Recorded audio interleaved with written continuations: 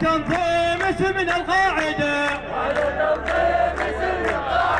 نقطع الراس ونقيم الحدود قبل 2003 هو كان نظام صدام وهو حاكم على كل البلد وكان هناك إرهاب حكومي يقوم به حزب البعث والصدامي وأعوانه في كل المحافظات. بعد 2003 نشأت هنا حركة آه، ما يسمى بحركة المقاومة ضد الأمريكان. وزعم هذه الحركة أو احتواء البعثيين نفسهم. وكانوا حاضنا لوجود القاعدة وما عرف بالزرقاوي وحركة الزرقاوي آه، اللي أسس آه، حركة مسلحة مرتبطة بالقاعدة. ولكن خاضت تجربة جديدة وتوجه جديد وتوجه ضد السكان المحليين ضد الشيعة خصوصا. أعلن تكفير الشيعة.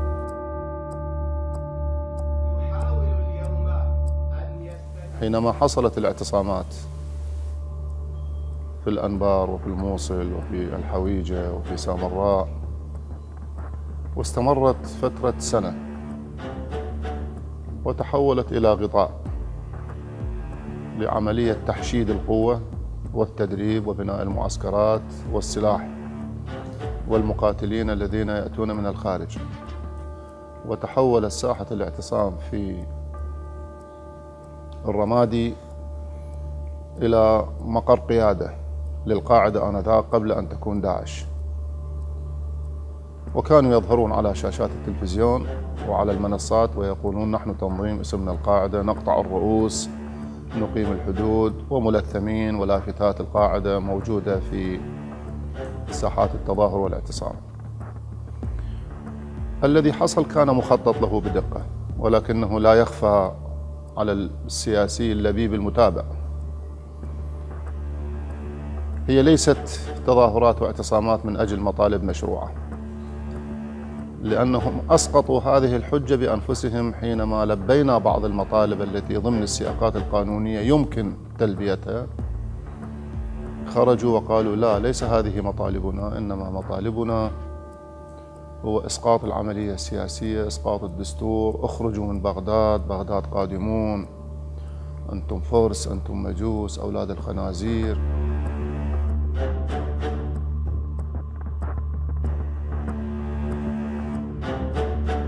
الانطلاقة الأولى لاعتصامات أو ما يعرف بالحراك السني الشعبي الذي ظهر في تاريخا في 22 12 2012 وامتد إلى أبعد من ذلك في قرابة سنة كاملة حتى يوم 29 12 2013 كان من يسيطر على هذه التظاهرات ثلاثة فئات.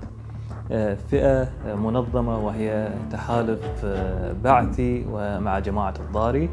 وهؤلاء أكثر تنظيما يمتلكون فضائيات ويمتلكون امتدادات من الخلايا النائمة المتواجدة في عموم هذه المحافظات التي يسموها بالمحافظات الستة المنتفضة. طبعا يوجد أكذوبة يحاولون تمريرها على على الناس وهو مصطلح المحافظات الستة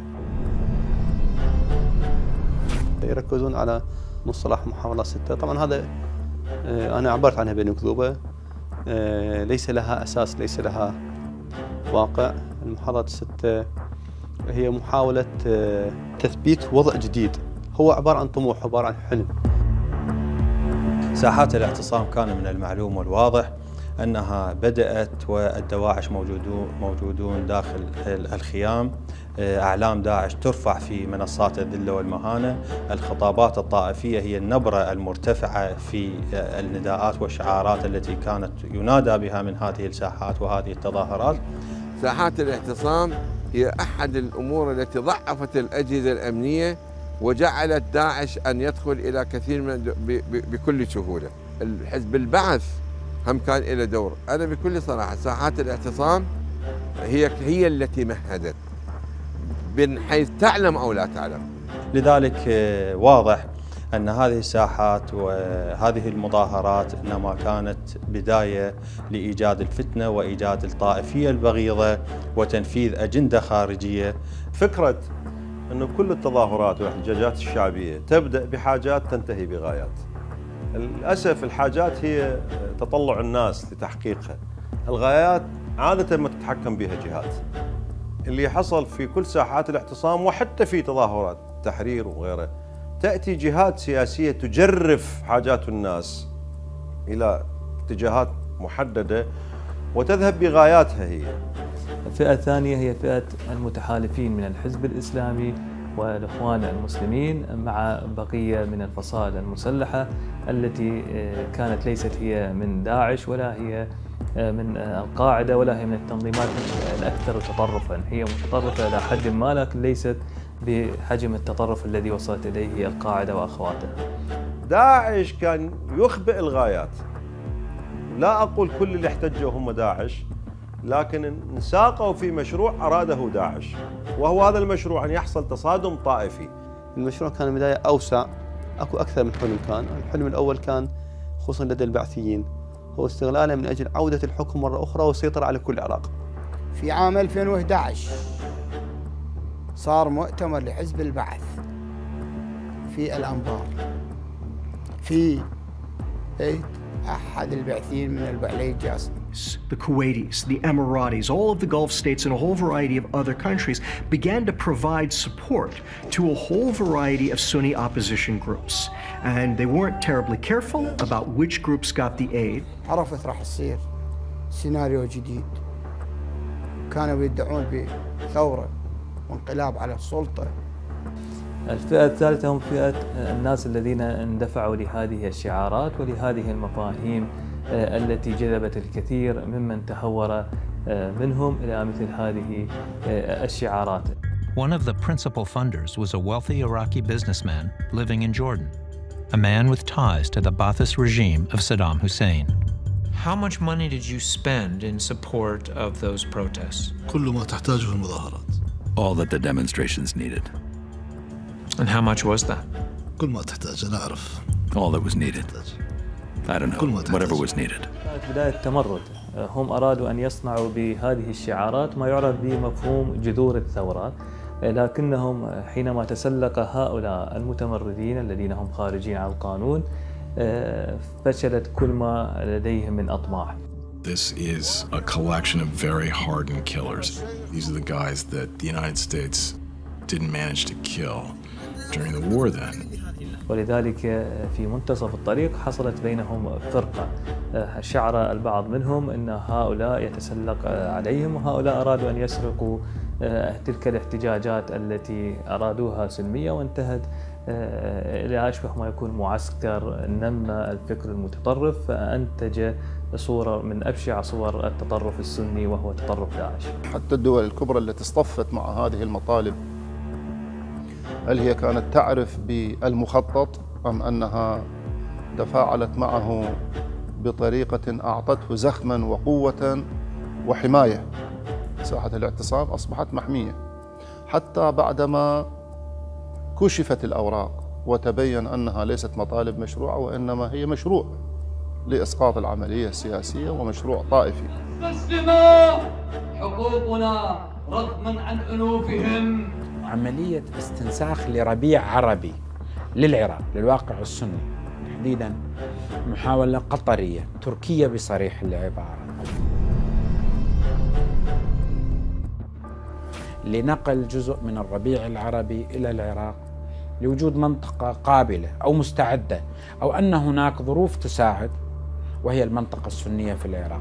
No Sunni is exempted. people started to prepare for a big demonstration in Fallujah and Ramadi. So I called them, I, I said to them, I'll join the demonstration. فمأساتنا أكبر مني ومن حماياتي الذين أعرفهم حق المعرفة قاعدة انطلاق هذا الإرهاب كانت في حواضن من ضمن هاي الحواضن هي آه، جزء من الأنبار والفلوجة بالتحديد شهدت بعد ذلك في 2013 تظاهرات مختلفة تطورت إلى أن ظهرت بها القاعدة بشكل رسمي في منصات المظاهرات في مختلف المحافظات اللي طلعت بها المظاهرات في الحويجة يعني في كركوك في ديالى في آه، صلاح الدين وفي الرمادي بالذات. قالوا صفى الاعتصام مقر لقيادة القاعدة. كم عدد القيادة الموجودة؟ قالوا 22 من قيادات القاعدة موجودين. هذا دليل من ناس كانوا من ضمن الاعتصام. يعني هؤلاء الأخوة الذين جاءوا المحافظ وغيره كانوا من ضمن المعتصمين على أساس أنها مطالب مشروعة لكن تبين لهم أنها مشروع آخر.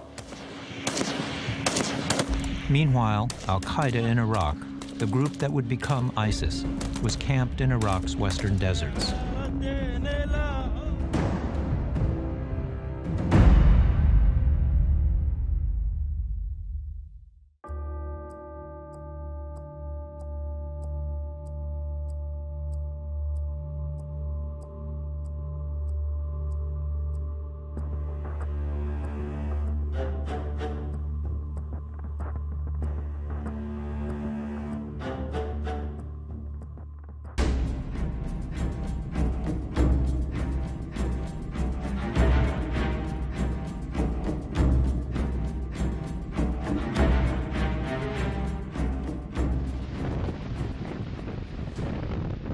الامريكان يقولون ليس بيننا وبين العراق اتفاقيه امنيه، بيننا وبين العراق اطار لاتفاقيه امنيه. U.S. Ambassador to Syria Robert Ford had urged the administration to quickly provide aid to pro Western Syrian rebels. Otherwise, he warned, Al Qaeda would dominate. I think there was uh, certainly warnings from people at my level that in a large ungoverned space, um, having Al Qaeda or Al Qaeda affiliated groups able to operate freely would be as much a risk to the United States as Somalia, Yemen, and Afghanistan were. And in each of those places, the Americans had to. بدأت عملية بناء المعسكرات في الصحراء الممتدة من الأنبار إلى الموصل طلبنا من الجانب الأمريكي أن يكشف لنا هذه المعسكرات صوروها بطائرات بدون طيار وكانت ممتدة وكبيرة وحركة النقل والسلاح والتدريب واسعة. هم كانوا حريصين على أن الاعتصامات تستمر وعملية بناء القوة وبناء الخلايا والتدريب والسلاح يستمر حتى تصبح القدرة التي هم عليها غير قادرة الحكومة على مواجهتها. كانت هذه الخطة. في آخر ولاية عهد السيد المالكي كانت ترى بوجوب عزل المالكي وإخراجه من منظومة الحكم بسبب ضغوطات الخليج وبسبب ضغوطات لا أعطيك أقوى من هاي بعد أنا. أمريكا تعلم بذلك قد لا تكون طرف مباشر في إنتاج داعش لكن كانت تعلم قبل عام أو أكثر. قال علنا عنها أحد قيادات الفصائل السنية في لقاء مع الجارديان البريطانية. قال داعش هي الفرقة المدرعة العاشرة التي ستضرب لنا ونحن سنمسك المدن من بعدها. الأمريكان عندهم توجهين. أوباما متهم من قبل الأمريكان أنه يريد تخريب مشروع الجمهوريين اللي احتلوا به العراق ولذلك هم ينتقدوه ويقولوا له أنت سبب وجود داعش. الآن بدأ الحديث واضح. لأنه أنت استسلمت أمام رغبة رئيس الوزراء السابق المالكي بعدم ابقاء 16000 عسكري إلى 30000 عندما انسحبوا في 2011 الآن كل الحوار والمحور الأساسي للحوار والمشكلة السياسية إنه الأمريكان يريدوا ثلاث قواعد. وبالتالي هناك وصاية عليه تحكمه وتضغط عليه بحسب تلك الاتفاقات التي يعلمها كل من يعمل في الحكومة العراقية. أما سياسيا فالعراق في لديه متسع من الحرية في التحالف مع روسيا أو التحالف مع إيران. لكن من ينفذ هذه التحالفات هي الحكومة وليست السياسيين يعني السياسي يقول لك أنا هواي وقراري وانسياقي أكون مع روسيا لأن هي أشد بطشا بالعدو. والحكومة تقول لا نستطيع حتى تأذن أمريكا. هذا لذلك هي حرمت العراق من إمكانات عسكرية يمكن أن تؤمن حكومة العراق بها على أو تمنع أي عدوان آخر. كان العقد مع الحكومة الأمريكية وغيرها أن تؤمن هناك مؤسسة طيران أو قوة جوية بعدد 15 515 طائرة لكنه ماكو ما وصل إلى العراق ولا طائرة من عندها لا زال معدل الضربات الأمريكية بعد فترة تكاد تصل إلى سنتين هو بضعة عشر ضربة. لم تزد ولم تنقص. فأمريكا مو ما تعرف. كانت تعرف ولكن ما سيطرت على الأحداث. شوف اللي اللي جبر أمريكا على أن تشكل التحالف الدولي هو ضغط العالم وخصوصا أوروبا على أمريكا بعد أن داعش شوف تمرد على القوة اللي انتجتها وأصبح يهدد كل دول العالم. And at that point, ISIS, they were arguing, you're not going to get anywhere with peaceful protests. You need to have muscle. You need to use some measure of violence. بدأ مشروع داعش يهدد ألمانيا لو ما هدد ألمانيا فرنسا بريطانيا إلى آخره إلى أن وصل تهديده إلى الولايات المتحدة الأمريكية هنا بدأت أمريكا تدخل على الخط بإنتاج آه، تحالفات دولية وما شابه ذلك. أنا ما أسميها مفارقة الأمريكان كانوا بشكل واضح. لن نتدخل دون استبدال المالكي. كان كان هذا الكلام يصدر من الدوائر السياسية الأمريكية بشكل واضح. وبالنتيجة أجبروا أو كانوا أحد وسائل الضغط المهمة على إجبار القوى السياسية العراقية وتحديدا القوى السياسية الشيعية. على إيجاد بديل للسيد المالكي لتدخل التحالف الدولي. أمريكا تريد المعركة تكون طويلة. وضعت برنامج لهذه المعركة ولها مخططات استعمارية ولا تريد أن ينتهي الموضوع بصورة سريعة وبسرعة. أمريكا تريد استنزاف قواتنا. تريد استنزاف قوات الحج الشعبي تريد استنزاف القوات العراقية تريد إنهاك العراق. كما فعلت في سوريا. لذلك آه، لا تتدخل. حتى لو كانت لديها معلومات دقيقة عن القيادة الأساسية والمركزية لتنظيم داعش أمريكا لم تتدخل سابقا بصورة إيجابية كما ذكرت. But I think his concern was that ultimately, if we provide those kinds of weapons, we couldn't be sure whose hands they might ultimately wind up in. هسه هذه المجاميع اللي كانت تلتقي بها أمريكا معظمها صار مع داعش في بادئ الأمر. مو مؤمن بداعش. كان يعتقد داعش هي رأس النفيضة اللي تخلصه كما سميت له إنه الحكم الصفوي والجيش الصفوي في العراق تخلصه ويعود للحكم. هذه كانت كل النظرية.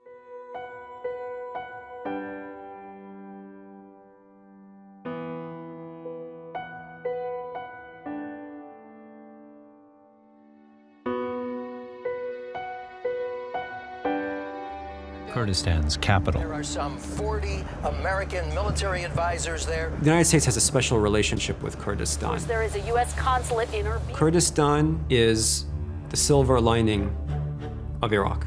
A trillion dollars worth of global energy companies, Total, Chevron, Exxon, and Gazprom Neft, are invested in Kurdistan. It was the threat to Erbil that prompted the U.S. administration to finally intervene. The trigger was threat to U.S. facilities in Erbil. That was the start of the air campaign.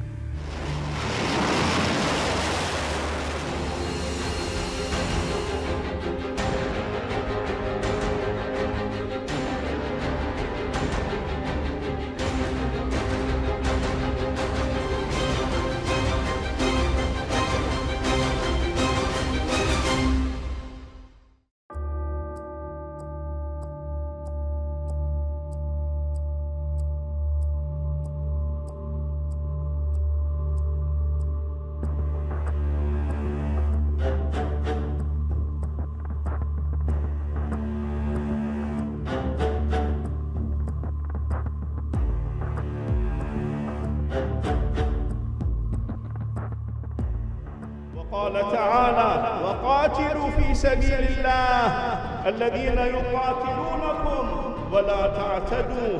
إن الله لا يحب المعتدين. ومن هنا فإن على المواطنين الذين يتمكنون من حمل السلاح ومقاتلة الإرهابيين دفاعا عن بلدهم وشعبهم ومقدساتهم. عليهم التطوع للانخراط في القوات الأمنية لتحقيق هذا الغرض المقدس.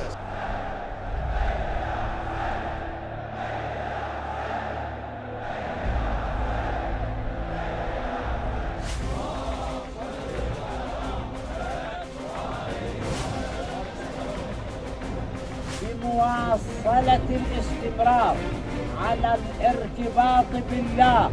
والارتباط بأهل البيت.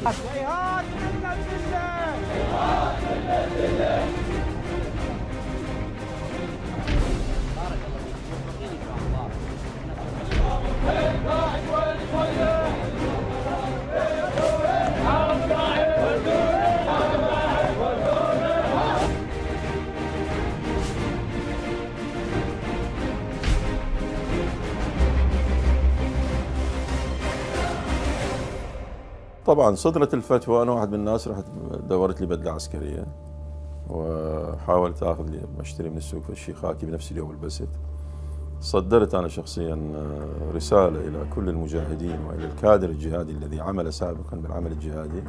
واعتبرت هذا تكليف عيني عليهم والتكليف كان آه، كفائي بالنسبة إلى الناس بالنسبة إن لمن يملك التجربة يعتبر آه، عين باعتقادي. وحضروا مئات الشباب حضروا مئات الكادر بالإضافة إلى فصائل المقاومة اللي كانت حاضرة بالخطوط الأمامية آه، في أيام الفتوى. وشكلنا مقر قيادي شكل المقر القيادي في بيتي عزام في بغداد. وأخذنا على الخريطة ما هي خطة داعش. والجهاد الكفائي معروف أن هذا الخطر الذي يهدد العراق يجب مقاومته. ولكن بالعدد الذي يكفي للمقاومة ولكن فيما لو لم نتمكن من مقاومة هذا العدو يأثم الجميع إذا ما يطلعون للقتال وهو ابتداء كفائي بمن يكتفى بهم للمواجهة ولكن إذا ما صار قدرة على المواجهة يأثم الجميع إذا ما يطلعون للجهاد. وبالتالي تكون الفتوى ليست منطلقة من إطار مذهبي ضيق وإنما من خلال المحافظة على ثوابت الإسلام بما هو إسلام بغض النظر عمن يصطبغ بصبغة من التعدد المذهبي والطائفي داخل إطار الإسلام. لذلك نحن نعتقد أن الفتوى جاءت في وقت حساس وحرج هناك خطر آه، شعر به الجميع وكان العلماء حقيقة هم أول من شعروا بهذا الحرج. ومن أجل يعني الدفاع ورفع هذا الحرج عن هذه الأمة صدرت هذه الفتوى. لذلك كانت التلبية تلبية رائعة جدا. لم لربما لم نشهد في العالم الإسلامي مثل ما هكذا فتوى إلا قبل مئة عام. كانت التلبية رائعة ومنقطعة النظير. وأعتقد أن جميع الفصائل أول من لبوا هذه الفتوى بشكل كبير وتواجدوا في ساحات.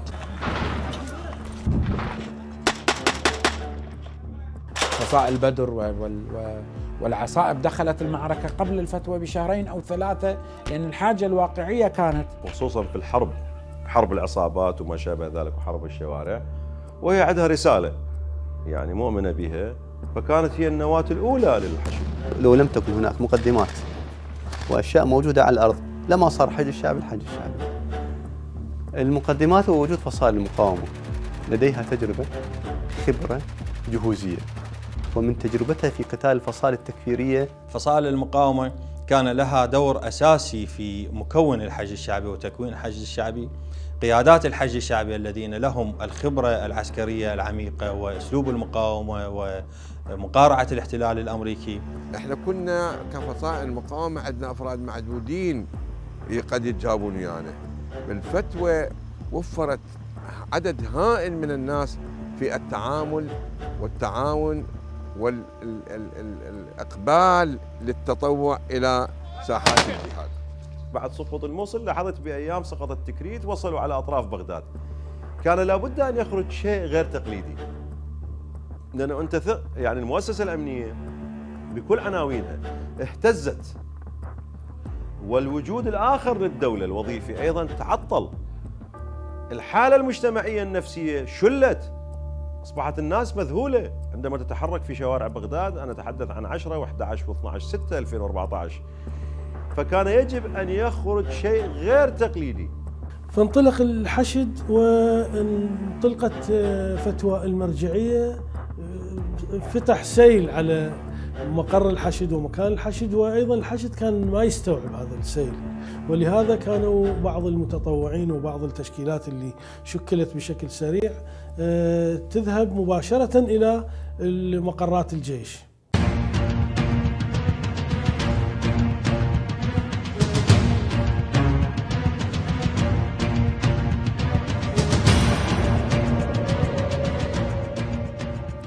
الفئة الثانية هي الفئة التي أسس لها السيد آه، آه، المالكي في المصالحة الوطنية. هي ما تعرف بالمجالس العشائر والقوات المساندة لها من ما يعرف بالصحوات الجديدة. أيضا هذه انبرت لكن بأقل حماس وأضعف إعدادا وعدة. من الفئة الأولى اللي هي فئة المقاومة الإسلامية. Biden gets on the phone to Maliki, or I mean, what happened? Some phone calls were made, no question about that. But of course, the Iraqis have never seen the Obama administration actually take any action. وقبل الفتوى كان هناك تواجد طبعا عسكري لبعض فصائل المقاومة ولأننا كنا نشعر أن هناك خطر جدي وحقيقي بعد حقيقة إنهاء الاحتلال الأمريكي بفقر كنا نعتقد أن هناك مشروع سوف ينطلق في العراق. فإحنا بالحقيقة وهي مسألة مو ملتفت لها بالحقيقة الحج الشعبي بعنوانه الجديد باسمه الجديد لم يبدأ من الصفر وإلا من بداية من الصفر يعني معروف تحتاج إلى وقت وتضحيات إلى أن تقف على رجلك ثم تستطيع أن تدافع عن نفسك ثم تنتقل إلى زمان المبادرة هاي رادلها إذا ما قلنا سنين رادلها أشهر. ولكن بسبب وجود فصائل مقاومة لديها تجربة. ثم جاءت الفتوى المباركة. فشحذت الهمم وأنشأت عدد كبير من المتطوعين بعرف بعد ذلك بالحشد الشعبي. وانطلقت العملية بهذه التشكيلة وبدت. وتعرفون بأن عمل بهذا الحجم وأعداد بهذا الحجم حينما تدخل تريد سلاح ونحن عندنا نقص كبير بالسلاح وتريد إدارة وتنظيم ومعلومات ورواتب لكن ما نذكره للتاريخ أن المقاتلين بدأوا يأخذون سلاحهم الشخصي ويذهبون للجبهات. وبقوا أشهر هم بدون رواتب لأنهم يشعرون أنهم يؤدون واجبا وتكليفا شرعيا. واستفادت فصائل المقاومة من فتوى المرجعية من أجل أنه إعطاء خبرتها إلى عناوين أخرى وإلى القاعدة الشعبية الكبيرة التي توجهت إلى ساحات الجهاد ضمن عنوان الحشد الشعبي. بالتأكيد لا يمكن أن أن تقف إلا بأسمى آيات التقدير والإعجاب أمام هؤلاء الشباب الذين ذهبوا للقتال ولم يكونوا يفكروا لا براتب ولا بامتيازات ولا برضا أحد ولا وبصراحة يعني الكثير من الشباب ذهب بروح وطنية مجردة. عندما أعلنت الفتوى وحقيقة إحنا كنا كحكومة محلية ننظر إلى أي قوة تجي من بغداد أو من أي مكان تحرر الطرق وتفتح الحصار. لأنه كنا نحس في خطر. أنا أقول لك 95% على سامر. فكنا إنه فقط نريد نحافظ على سامر نحافظ على العراق. كلفت الأخ الحاج هادي العامري وكان وزير للنقل. وفي مجلس الوزراء قلت له تترك مجلس الوزراء تدرس تترك الوزارة ومجلس الوزراء وتذهب لإدارة العمليات في ديالى لأن ديالى أيضا اشتعلت فيها الفتنة. وفعلا جزاه الله خير رجل ترك الوزارة ولبس عسكري وأنا أعطيته صلاحيات كاملة في إدارة المعركة وهو رجل صاحب خبرة في فيلق بدر في حينها. فاستلم ديالة ونجح في حفظ ديالة من السقوط ونجحنا نحن في حفظ بغداد من السقوط ثم الأخوة الذين تكلفوا بفتح الطريق وحماية سامراء. كنا نحمي سامراء بالطائرات والإنزالات والطريق مقطوع ومخطط له أن يكون مقطوع. لا أحد يعبر من بغداد إلى سامراء ولكن الحمد لله بهمة المخلصين وبالذات من فصائل المقاومة. الذين أبلوا بلاء حسنا في فتح طريق سامراء رغم تعقيداته. محور ديالى أخذ الحج أبو حسن ومحور سامراء أنا أخذته. المقر اللي خلفنا يعني كان دورهم أن ينسقوننا مع مقرات الجيش مع القوة مع الطيران يرسلون عتاد وما شاكل طبعا إحنا بالقعدة الأولى وضعنا المخطط لتشكيل الحشد. يعني الحاج أبو مهدي والعناصر القريبة من عنده تصدوا لتحمل المسؤولية كان هو داعم بالإضافة إلى حضوره بالجلسات واجتماعات التخطيط للعمليات طبعا أكو هناك عناصر من الإخوة المستشارين كان لهم دور كبير في التخطيط إلى العمليات وقيادة العمليات. ومن أول لقاء إنه قدرت إنه قلت هذا راح نقدر نشتغل وراح ننجح في في تحرير محافظة صلاح الدين لأن كان متعاون وأنا سألته بعض أسئلة لأشوف شخصية داخل هالشخص شنو. فحقيقة ما شفت إلا داخله أنه وحدة العراق ووحدة البلد. وأول لقاء تكلمت معه قلت له ما أريد منك عهد أنه تنطيني كيف نحافظ على سامراء فالرجل حقيقة أعطاني كلام وقال أحدك أنه كيف نحافظ على سامراء قلت له حفاظنا على سامراء ترى حفاظنا على وحدة العراق ووحدة البلد. السلام عليك يا أبا عبد الله. بركة دماء الحسين عليه السلام. بركة دماء الشهداء. بركة محرم الحرام. حقق هذا النصر. الآن نحن على باب الفتح. ما اطلع ما ما تدخل ندخل يلا. امشي امشي. لا لا لا لا يضرب. ما تمشي. خليه يضرب. لا هي خبصه وخر علي خلك أبو مهدي انت اعرض اعرض وش الجو صير بظهرك يلا يلا غسلوا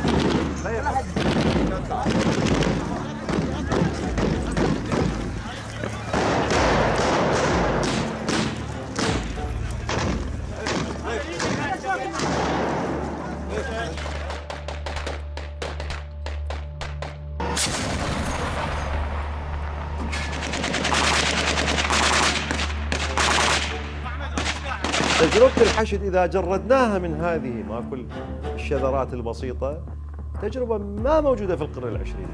حقيقة هي مو مجاملة إحنا نقول لأنه أنت في ظل انكسار شوف مثل الطائرة التي ترتطم بالأرض ثم الطيار يستطيع النهوض والعلو فيه هكذا كان الوسط.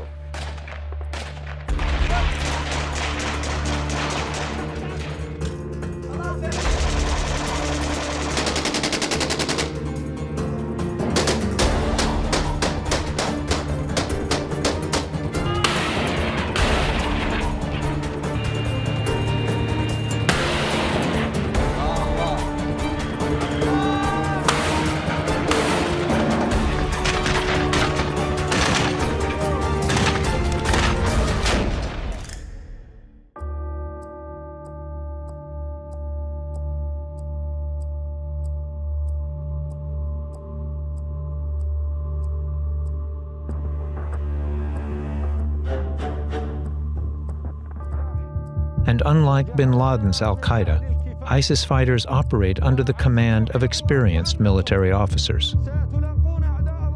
Several of the top leadership positions are now held by Ba'athists from Saddam's army. What you call ISIS, behind them sit the Ba'ath Party and the former regime. And the Baathists are pretty key to that structure. I think without the Baathists, it becomes very difficult to uh, pursue ISIS's agenda. You lack a lot of the administrative capability and a lot of the military skills. My fellow Americans, tonight I want to speak to you about what the United States will do with our friends and allies to degrade and ultimately destroy the terrorist group known as ISIL. Is ISIS a threat to the United States?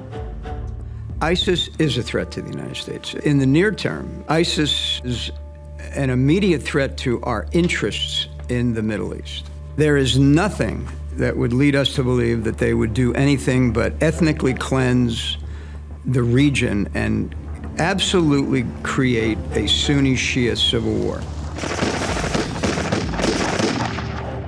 Long term, if they achieve the Islamic State that they've declared, then absolutely it will be a threat initially to Europe, probably, and ultimately to us.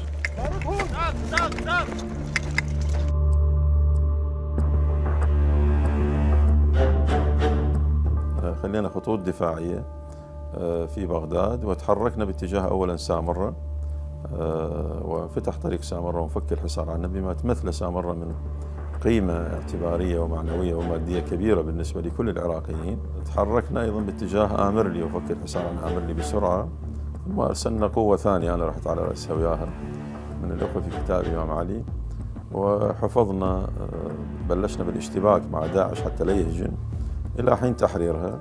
حفظنا بيجي أيضا أرسلت مجموعة من الأخوة من عصائب أهل الحق إلى بيجي لتعزيز مصفى بيجي وعدم سقوطه وحافظوا عليه من السقوط إلى الأخير. الأخوة الإيزديين والأهالي أهلنا الإيزديين أيضا في سنجار تم سعي لإخلائهم من المنطقة بعد خلو المنطقة من البيشمركة وقوة عسكرية تدافع عنهم.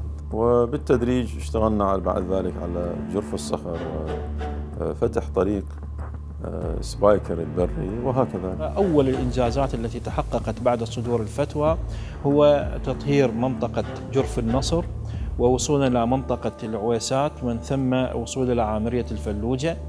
وفي الجانب الآخر هو تأمين طريق بغداد سامراء وتأمين بلد من أنها كانت مهددة تهديد جدي والمحافظة على الإمامين العسكريين ومن ثم الانطلاق إلى وصول إلى صلاح الدين وتطهيرها بشكل كامل. أحدثت نوع التوازن. آه، بعد ذلك حررت ديالى ثم حررت النصر الأكبر أنا أسميه هو جرف الصخر. هذه آه، بعد ذلك انطلقوا إلى عمليات مهمة جدا هي عملية تحرير بيجي عملية تحرير الصينية وغرب سامراء أخيرا. هذه العمليات آه، كلها أحدثت نوع من التوازن في القوى الخاصة من كتائب الحشد الشعبي في استطاعتها أن تحاكي أساليب داعش النتيجة أنه تقدم الحشد الشعبي ليحقق الأسس الرئيسية لعودة وانطلاقة الجيش العراقي من جديد وكانت الانطلاقة كلها هي الفخر بها يعود للانطلاقة الكبيرة اللي الآن يتواجد أبناء الحشد الشعبي في مناطق رئيسية اللي هي الإحاطة والتطويق للفلوجة. تحركنا باتجاه سامراء. وتحركنا بالبداية كان الطريق ب هم عبوات زارعين كانوا داعش واصلين آه، إلى بلد وإلى الطريق بس ما داخلين سامراء.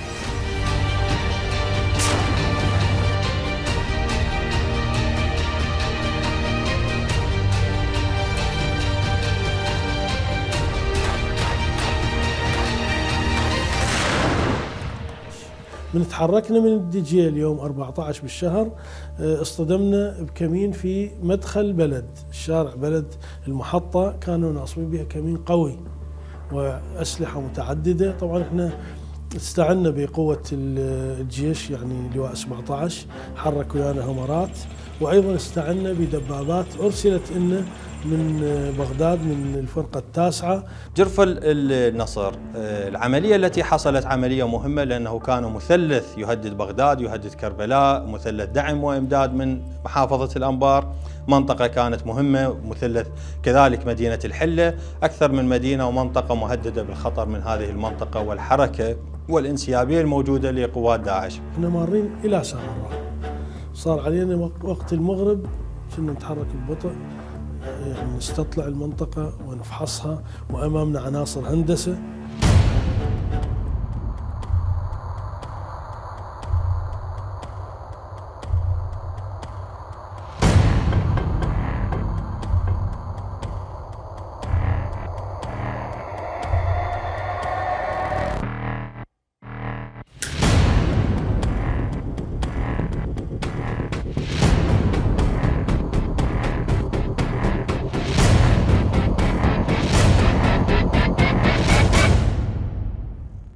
الانتصار الواسع اللي تقدموا باتجاه جزيرة الثرثار أبناء الحشد الشعبي. تصور قرابة السبعين ألف آه، كيلو متر تحرر. آه، هذا الأمر ليس بالهين آه، مسافات واسعة وشاسعة تم تحريرها في يوم وليلة. وكان يفترض أيضا أن يستكمل التطهير باتجاه باقي المناطق. بكلام عام توصيف عام أنه استطاع الحشد أن يسترد ما يساوي تقريبا 70% من الأراضي التي كانت تحت سيطرة داعش. آه، كانت الخطوة الأولى هي مرحلة الدفاع تأمين محيط بغداد إخراج داعش من غرب بغداد وتحرير جزء من القرمة وبالتالي تأمين بغداد. من ثم تحرير مدينة آمرلي من ثم تحرير منطقة الجرف واللي كانت تشكل تهديد على ثلاث محافظات منها محافظة كربلاء. ومن ثم الاتجاه آه، باتجاه تحرير ديالى وديالى آه، بالنتيجة تم تحرير كل ديالى محافظة ديالى ومن ثم الاتجاه باتجاه تحرير آه، محافظة صلاح الدين. محافظة صلاح الدين أكثر من معركة مهمة حصلت منها يعني منطقة مع معارك تحرير مناطق بلد ومحيط بلد يعني يثرب كانت فؤرة متقدمة وخبيثة جدا. وطبعا تحرير تطهير يثرب عودة الأمان معنا إلى بلد والدجيل والضلوعية. وثم اتجاه آه، إلى شمال مدينة سامراء العملية الأوسع كتحرير مساحة اللي وصلت إلى جسر الفتحة تقريبا. وتم تحرير مناطق العلم والبواعجيل والدور ثم تحرير تكريت تحرير آه، سيد غريب آه، تحرير آه، بيجي وكذلك تحرير جزيرة السامرة إلى الشكل الآن أنه من الناحية الإدارية صلاح الدين كلها حررت. ولكن هناك انتصارات كبيرة بلد وامتدادات بلد وصولا إلى الدور وناحية العلم ومن قبلها الضلوعية وتكريت بشكل كامل ديالة 100% المناطق القريبة من كركوك القرى المترامية الأطراف فيما يتعلق في حزام بغداد فيما يتعلق في شمال بابل فيما يتعلق في غرب بغداد وصولا إلى الفلوجة. إحنا كنا يعني الحشد بنينا محورين. المحور الأول محور القرمة. والقرمة التي كانت تعتبر الخط الدفاع الأول عن الفلوجة.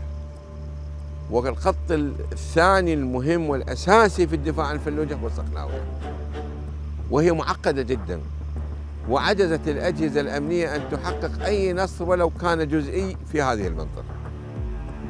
ومنذ انطلقت عملية تحرير القرمة في 1 3 2015 نحن بدأنا عملية تحرير منطقة نسميه شرق نهر دجلة من سامراء إلى الفتحة في يوم 2 3 بعد عشرة أيام كملنا كل المنطقة. وبعد ذلك ذهبنا وكملنا سامراء. وبقى التحرير القرمة إلى أن تم تحريرها من خلال العملية الأخيرة التي نفذها الحشد مع الأجهزة الأمنية الأخرى.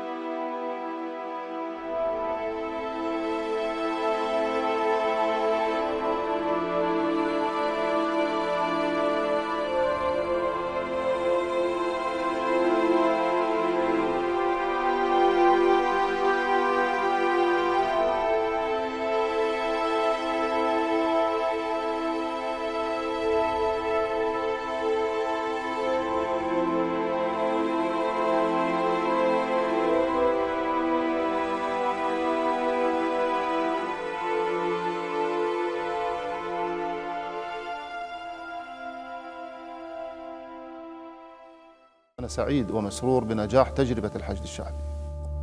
سواء كان بإيقاف تدفق الإرهابيين والطائفيين والمتدخلين بالشأن العراقي أو بما أنتجه الحشد الشعبي من ثقافة جديدة العراق بحاجة لها. هي ثقافة التضحية ثقافة الاستشهاد ثقافة الاستجابة للنداء الشرعي ثقافة الاستجابة للنداء الوطني. هذه الحزمة من الرسائل التي عبر عنها الحشد الشعبي تجعلنا فخورين وينبغي لكل على كل عراقي أن يكون في أقصى درجات الاحترام والاهتمام بالحشد الشعبي. من المؤكد انتصارات الحشد الشعبي ساعدت على توحيد العراقيين على مستوى الميدان، اختلاط الدم، اليوم دم السني والشيعي اختلط في تكريت في الدور في العلم في حزام بغداد في سامراء في كل هذه المناطق التي حارب وحرر أراضيها الحشد الشعبي لا يوجد في الحج الشعبي فقط الشيعة إنما في الحج الشعبي الكثير من آه، إخوتهم السنة وكانت المعارك كلها معارك مشتركة. الشيء الكبير يعود إلى المقاتل الشجاع الأبي الذي كان المؤمن الذي كان يواجه الموت. نحن دخلنا في كل هذه المعركة وواجهنا الموت بأجسادنا